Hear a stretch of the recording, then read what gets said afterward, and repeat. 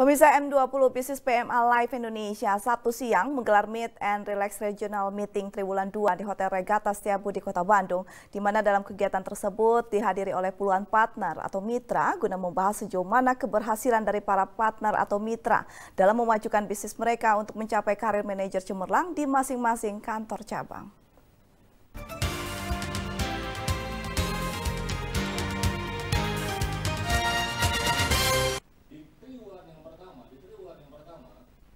Bertempat di Hotel Regata Jalan Setiabudi, Kota Bandung, M20 Business PMA Live Indonesia menggelar Meet and Relax Regional Meeting Triwulan 2 yang diikuti puluhan mitra atau partner yang datang dari sejumlah daerah di Jabodetabek seperti Bogor, Bekasi, Sukabumi, Cianjur ditambah Kota Bandung sebagai tuan rumah.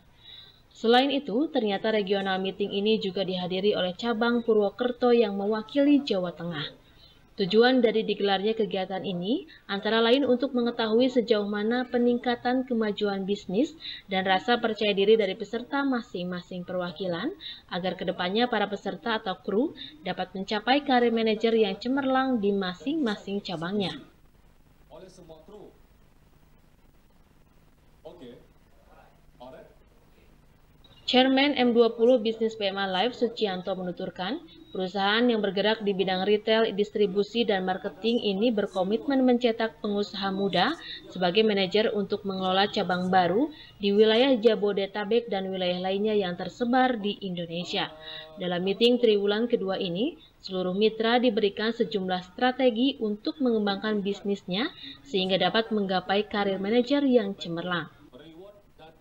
Para peserta mampu mengeksekusi hasil evaluasi triwulan yang sebelumnya yang kebetulan kami lakukan di regata, sekarang di regata kembali, mereka juga mampu menjalankan materi, program, dan strategi yang diberikan di hari ini, sehingga kami harapkan dan kami yakinkan untuk triwulan berikutnya akan banyak lahir dari para peserta-peserta yang hadir ini untuk menuju karir selanjutnya.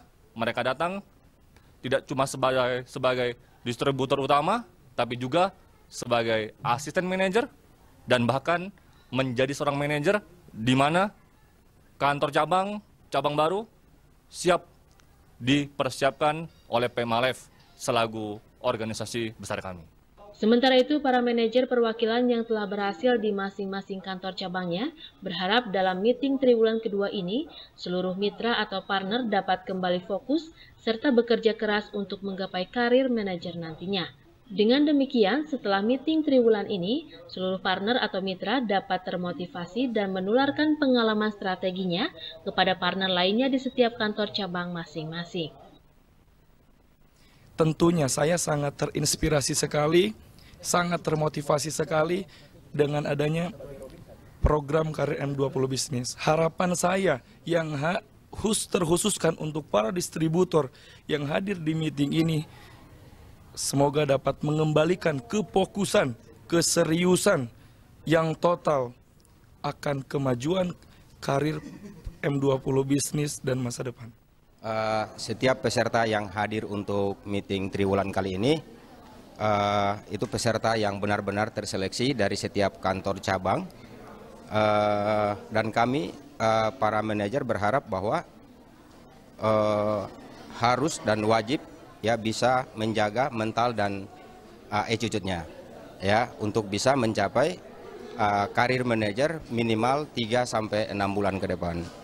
Dan uh, kita berharap bahwa setiap perjuangan ya pasti ya ada hasilnya dan setiap pengorbanan juga pasti ada hasilnya. Oleh karena itu uh, dipastikan bahwa tetap semangat untuk bisa meraih apa yang menjadi tujuan atau cita-cita dari setiap peserta.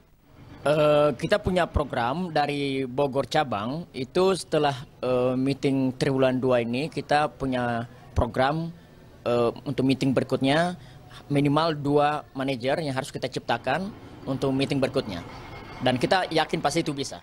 Bagi masyarakat yang berusia mulai dari 18 tahun hingga 30 tahun yang kini tengah mencari pekerjaan, M20 Bisnis membuka lowongan kerja sebesar-besarnya.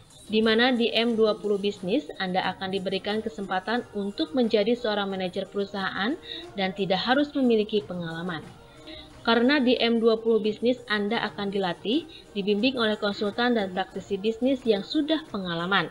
Selain itu, rekrutan ini pun tidak dibungut biaya alias gratis. Yuana Kurniawan, Bandung TV